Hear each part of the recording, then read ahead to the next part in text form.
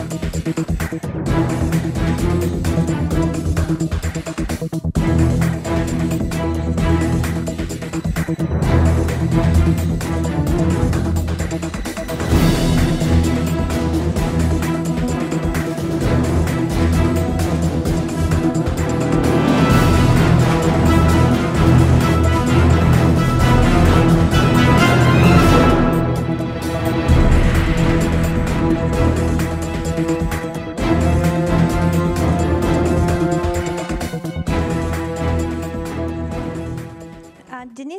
Very much. Um, ladies and gentlemen, I'm very excited to be here today and have this um, opportunity to present our community. Um, we started to work two years ago, and by now we managed to collect uh, over 60,000 physicians in our network. Uh, we uh, cover uh, the territory, we actually focus on Russian speaking physicians and we cover the um, whole territory of the former Soviet Union, which is now uh, lots of um, separate countries. Uh, but Russia, obviously, being the biggest one, um, accounts for the largest proportion of our uh, community members, followed by Ukraine, Belarus, and Kazakhstan. And the rest covers the rest of the world, which is in total about 28 countries um, at the moment. We uh, also contradict the traditional uh, cliche about internet users, with our users' uh, main age group being at uh, 45 plus um, age range. And um, our users spend quite a lot of time on um, our website, uh, which I attribute to the model that we use, which is um, Web 2, pure Web 2.0 model and user-generated content. Um, maybe you know that Russia was named uh, as uh, having the world's uh, most uh, uh, addicted to social media population. According to Coms ComScore um, survey, Russia came as Russia, Russian users spend on average 6.6 uh, hours on social websites, which is twice the number, uh, the average number for the rest of 38 countries that took part in their survey. So we uh, enjoy quite a lengthy average visit duration for our um, for our website, um, on average 20 minutes per visit, and um, our users usually uh, look through 19 to 20, to 20 pages on average. Um, inside, we, our content is password protected, so it's the closed community. We just um, let in only physicians. And there inside, they have lots of different activities, um, such as obviously forum is the probably the biggest one at the moment. We split it into two sections. One is just general uh, discussions on um, professional medicine related topics. Uh, the other one, which is growing very fast, is uh, a section where physicians can post a difficult clinical case and ask colleagues to help. They can also attach um, little videos um, or photographs. Uh, and lately, we've noticed that um, it's actually um, growing very fast now. And um, at the moment, we have um, achieved the level when a case is posted on um, our this dedicated section of our forum, uh, physicians get answers, five to 10 um, answers within the first 10 minutes, which is quite an impressive result. Well, depending on the particular uh, case, that varies, but on average, that's the figures that we achieve by now. So, um, otherwise, they discuss uh, sort of very uh, traditional, probably, um, uh, things, and I don't know um, how um, others see it on their uh, on their communities, but um, we had a very, uh, still have very hot discussions about uh, the uh, alternative and traditional medicine. It's like believers and non-believers. The, the argument goes on and on, and it seems that there is no end to it. Um, there's lots of um, issues surrounding the uh, um, professional health care that um, physicians tend to discuss, as well as, as I said, specific cases um, and specific problems that they deal with uh, in their day day-to-day practice. We also create a couple of platforms to uh, help to collect the crowd uh, professional crowd wisdom. Uh, one of them is the wiki type of pages, where uh, it's the idea actually pretty much is um, in the wiki where everyone can post um, uh, some information on the topic and the other user can come and uh, uh, and actually um, edit it. We also do similar things for the um, uh, drugs. We collect the um, information about particular drug usage. We also stepped into e-learning and we uh, do uh, live surgery broadcasting and we do online uh, roundtables and lectures, which has been very popular because Russia is a vast country. We have nine, nine time zones and it's really difficult to arrange um, that kind of activities in offline to cover um, that, that big territory. And and finally, so I'm finishing. And finally, we do activities for the pharmaceutical companies as well, all, all sorts of um, activities for them. Uh, as at the beginning of this year, we had the new law which significantly restricts the activities between pharma companies and doctors. So we um, truly believe that uh, for us, for our healthcare, the way forward is in internet and in the social media. Thank you very much for your attention.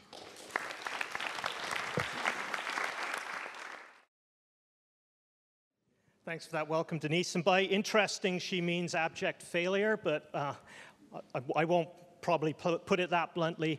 Uh, the slide you'll see up here is from a panel, uh, a discussion I gave in Washington a year and a half ago on how not to run a social networking site. Uh, which I took an hour to do. Here, I'll, I'll spare you the hour and just quickly over five minutes give you our experiences.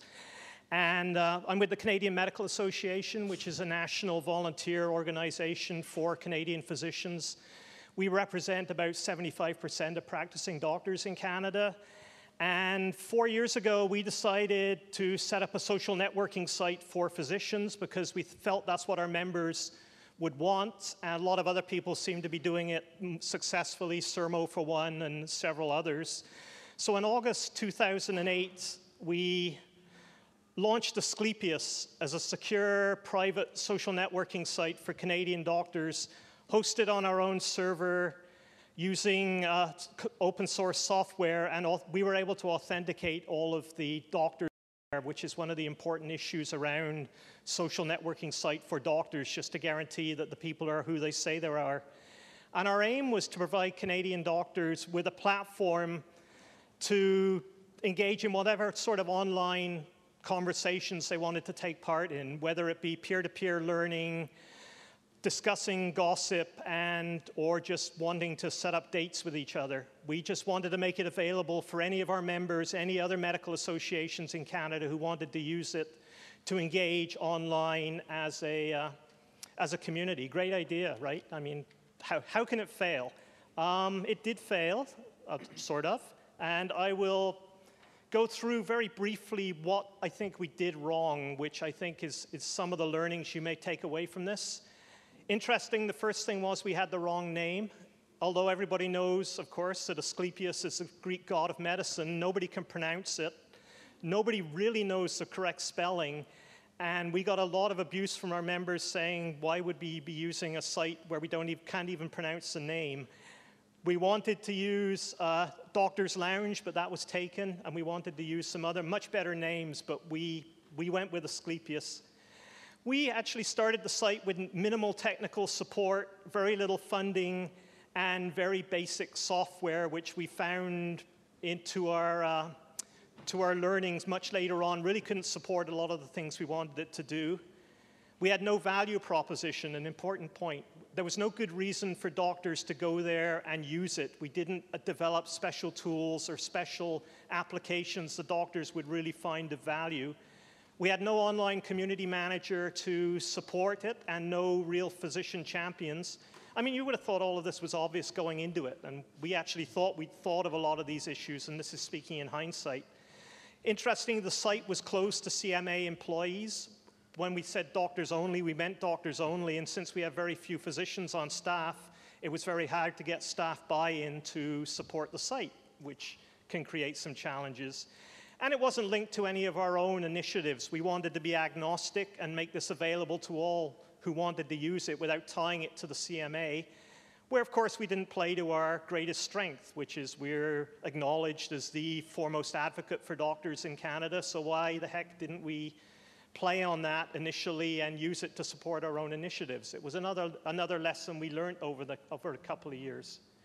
Uh, what did result in terms of numbers? Well, frankly, we had minimal, we've had minimal use of the site over the last four years. We've had 5,000 physicians register out of about seven, a base of about 70 to 80,000 who could have. And there's been little or no regular use. There are some weeks where actually nothing much happens on the site.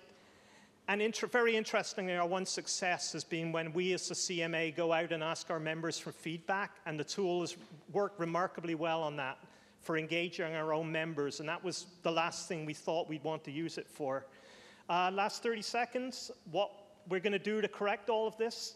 I worked some, with some very good consultants over the winter, and we are going to change our model by the consultants told us essentially we had the wrong platform and the wrong approach.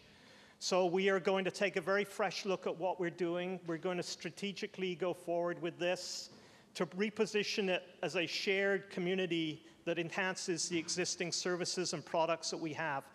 By the way, doctors don't like social networking site. The, the phrase, they think it's a bit frivolous, so we're talking about shared community. So I have high hopes going forward, and I hope the little five minutes will play down the sort of the bad side, but really show you the learnings and where I think we can go with a good online physician community. So thank you. Thank you, Pat, and have a seat next to me here. Gao is my name. If you see the Chinese uh, in the conference, and this is the Gao, he uh, running a physician website in China for 12 years.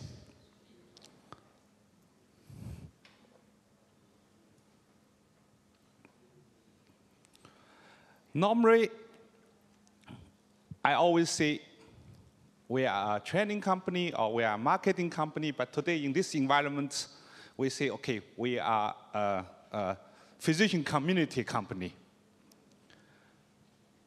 We started 99 and built a website that time.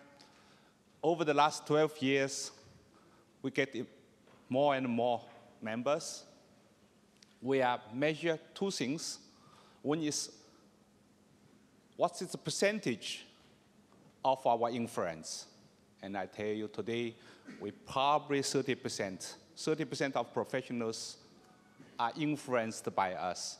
And second, we measure is how deep we influence these physicians. And that is from 5% to 95%. Maybe you will see why it is.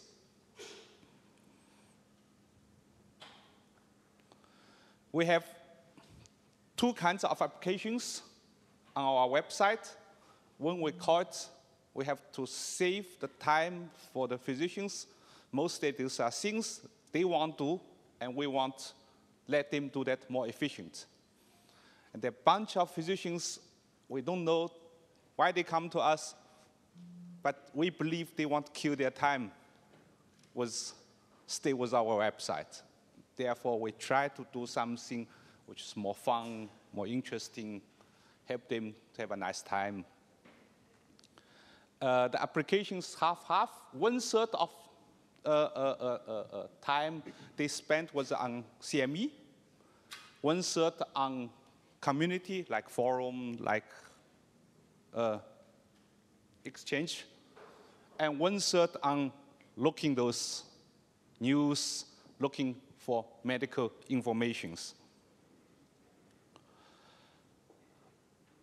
We had a website, but the only thing in the past 10 years will really help the country, will really help the nation to solve some problems was education.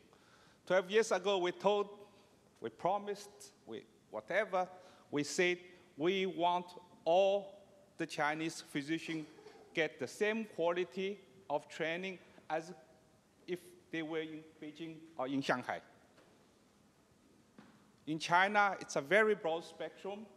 We have clinics like in an African village. We have hospitals. It is probably as modern as in any US medical center.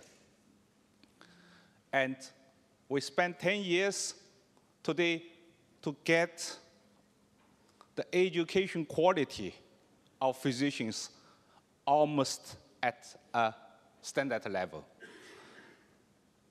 Again, if we want to solve problems, E only helps us, regardless 1.0 or 2.0, to reconsider the things again because we have more opportunities. And for us to solve a problem is using internet, using E as an element in the classic concept. And same we do with education, and today we're doing the same, applying the same in marketing because after 10 years, we feel that we now understand the education, we can do pretty good education, and we try to take a new area, and this is marketing. We want to look at the things again and study the basic things and try to do something new. And that was. I thank you.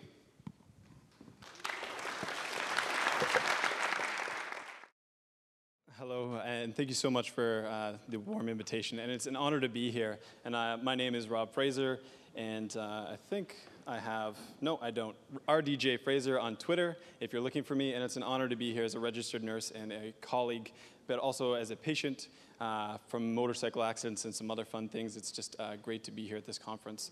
And today I have the honor and uh, privilege to talk about the Connecting uh, Nurses Initiative, which is a global initiative, and it's a lot of fun to be part of. It is um, an initiative that is led by Sanofi, but in partnership with nursing organizations around the world.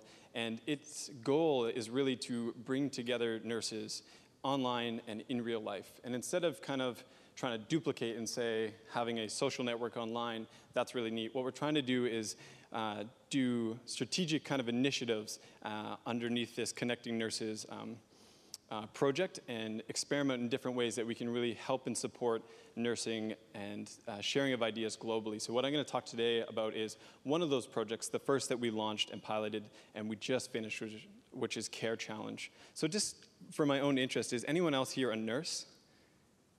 Okay, now one other person, that's, that's good. Anyone else in the audience related to a nurse?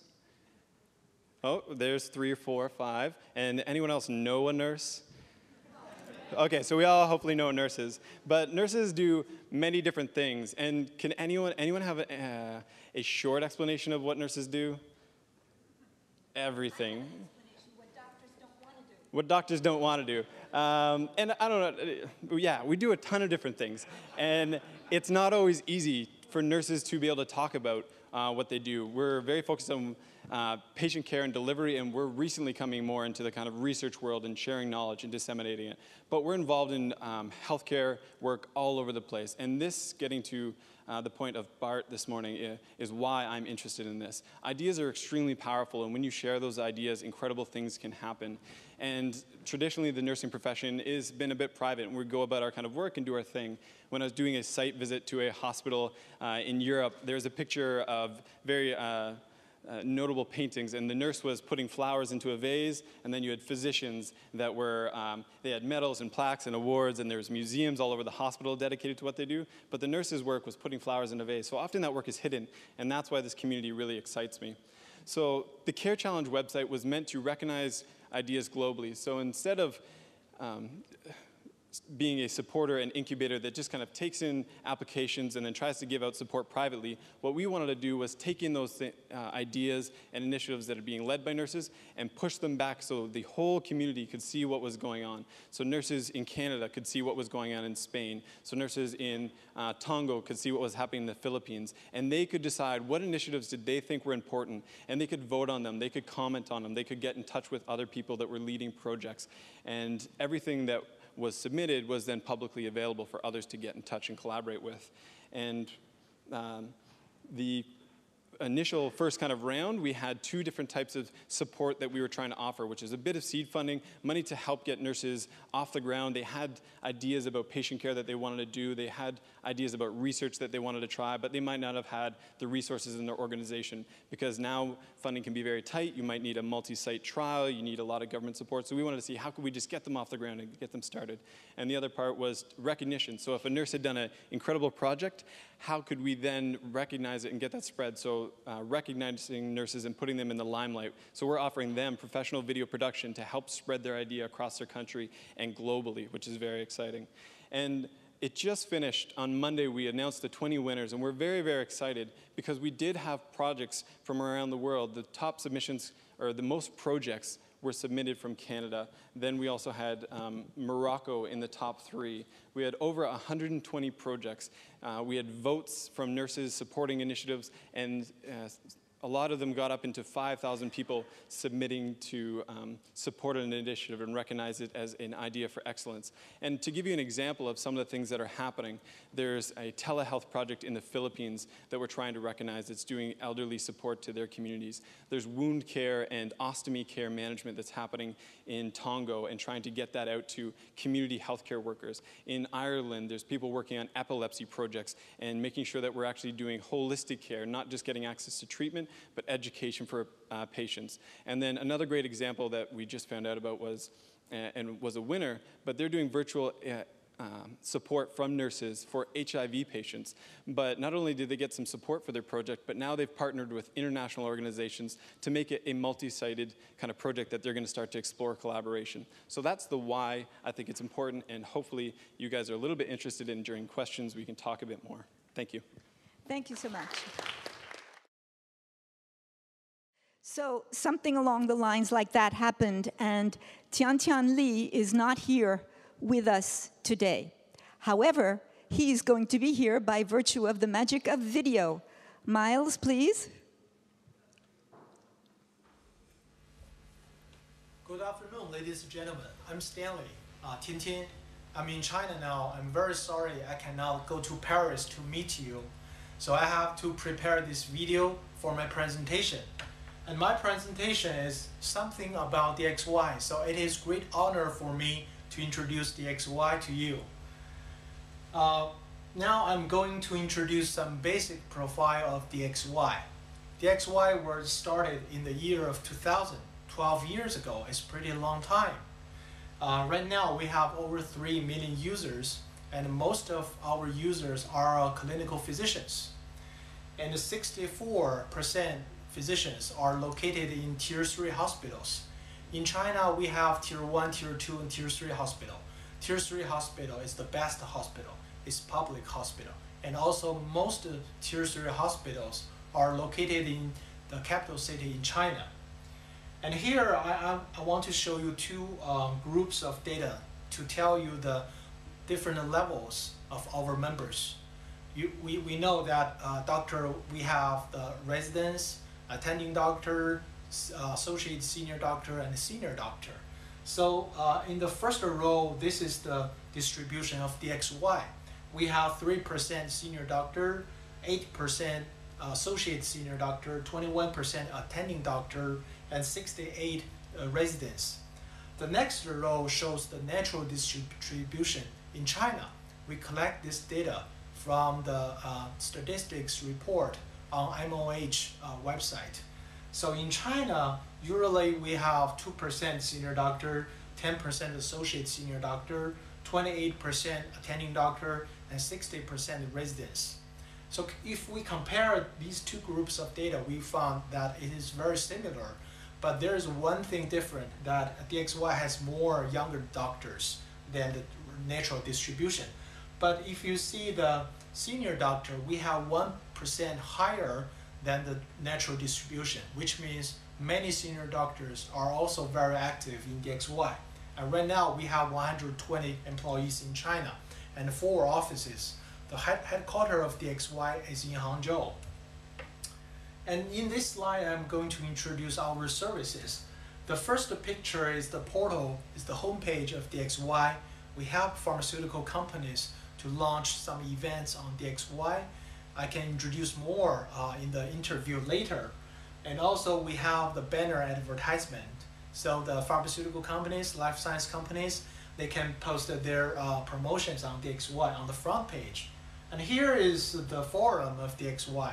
Actually, DXY start from a forum, and right now we have over 100 different specialties and subspecialties.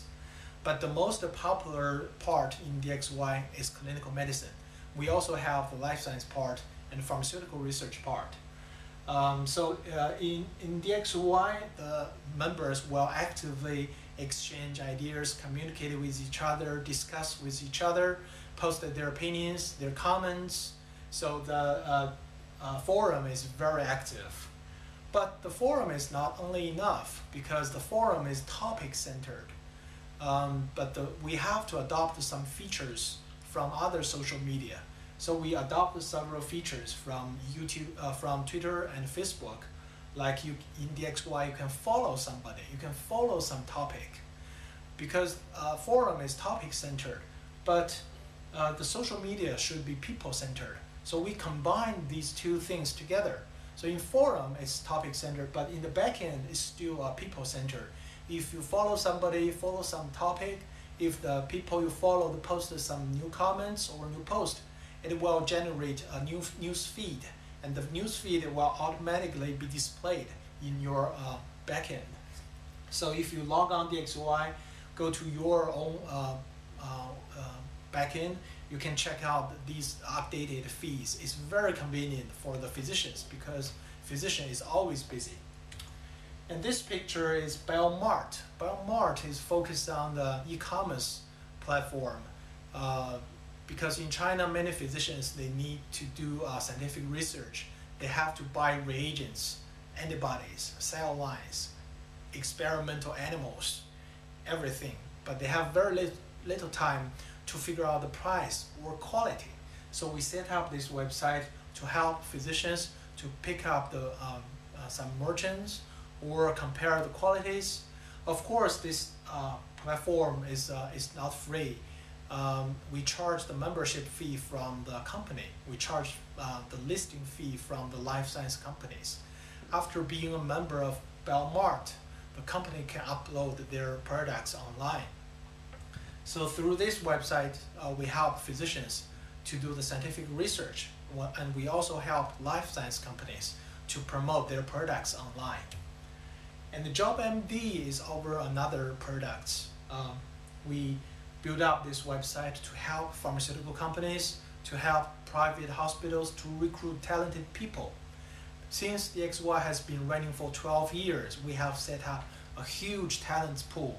So we use this platform um, to help physicians to find a job, and also we help the industry, the companies to find the people. And we also charge the membership fee to the, uh, from the companies. Both the two products BioMart and JobMD are all free for physicians because they are our users and we care about their experiences. We don't charge membership fee from our users. And this product is very new developed. It's focused on the mobile applications. We developed a mobile application. The name is Drug Assistant. We collect a, a description manual of uh, prescribed drugs, and we make it uh, in the, into iPhone, iPad, and Android. And uh, this application is also free, and physicians can download this app from App Store or Android Market.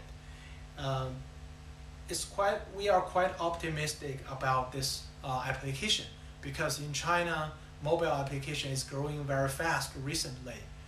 Uh, since last eight months, uh, this application totally has been downloaded over 2 million times. Of course, not all of the downloading is physician. We, um, we noticed that there are several lay people, the ordinary people, also download this application.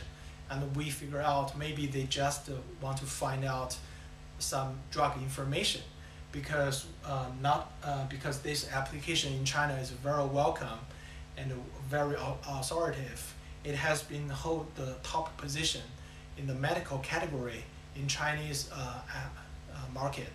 So we are quite optimistic about these applications. And uh, that's all. That's the basic introduction of DXY. And if you have more questions, I would like to answer your questions later And thank you very much for your attention. May you have a very good day in Paris. 谢谢大家，祝大家在巴黎玩的愉快，谢谢。We're ready for the question period, and believe it or not, I have his number on my cell phone. And we didn't have time to test whether it would work, but I believe that if I put the cell phone on speakerphone, you can hear his answer. So I would, would like to try asking him one question. He's waiting over there, it's six hours later. Does anybody have one burning question for Tian Tian about his organization in China, or else I'll ask the question. You know, there's, um, is it uh, Who Wants to Be a Millionaire, where you call somebody at home and ask them a question?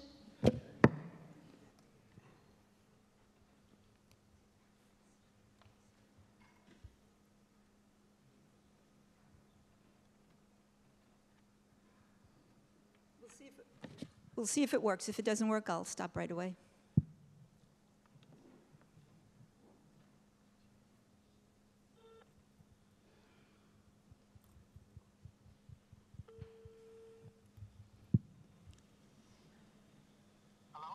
Hello, Tian Tian. You wanted, wanted to just hello? say say hello. Speak really loud. Hi, uh, Denise. Yes, we're, we're Denise and a few friends are listening to you. Okay. So, we've just okay. seen we've just seen your video, and I'd like to know. Um, what are your plans? Is there any one major thing that you're planning to change about the offer to the physicians? What's the next big thing that Chinese physicians want? Uh, I'm sorry, Denise. Uh, I, I, need to uh, understand your question okay. clearly. Yeah, my question is. Yeah. Mm-hmm.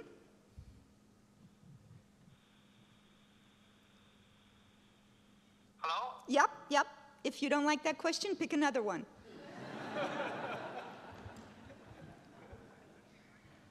to understand your question first, and then I can try to answer. Okay. What are you doing next with your website? What's going to be new?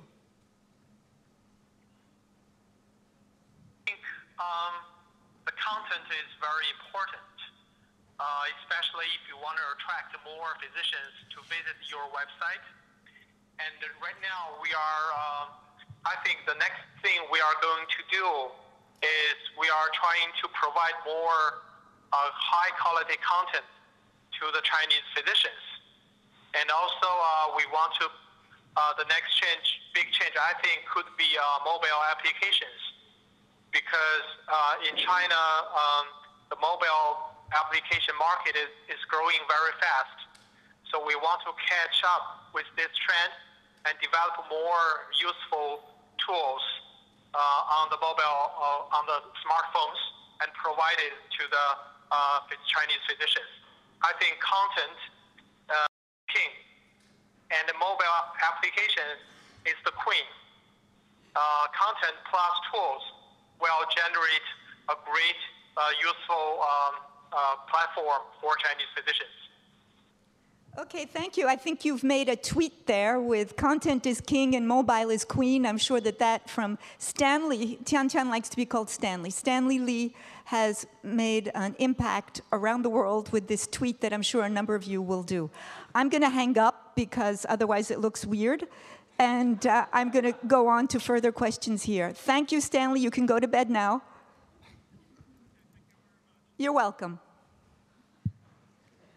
Okay, so, so who has questions?